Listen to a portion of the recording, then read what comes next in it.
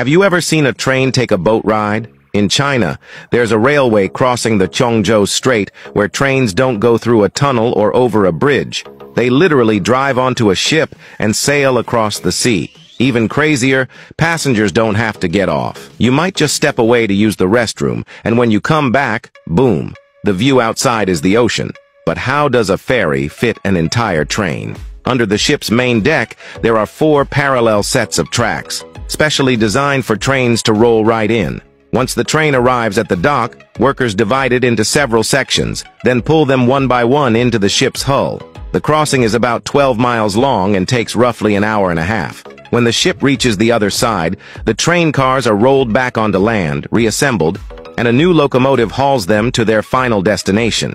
It may look like a complicated process, but it's far cheaper than building a bridge or digging a tunnel. So, would you try riding a train that sails across the sea?